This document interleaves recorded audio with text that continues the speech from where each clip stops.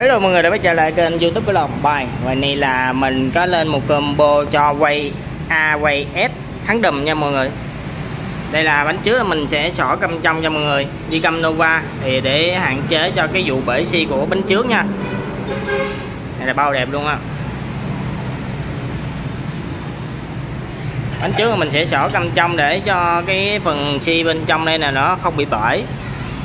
Để giúp mình vừa đẹp và vừa ok luôn nha rồi, bánh sau mình cứ diệt sỏi di viên không bể xi gì hết nha mọi người.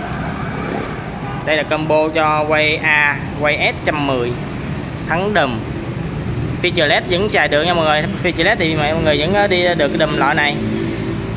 Cam Nova niền nghề mọi người có thể chơi loại nào cũng được. Đây là niền Excel. Là combo hơi cứng à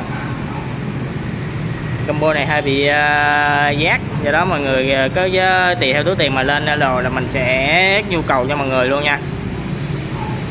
Bao đẹp.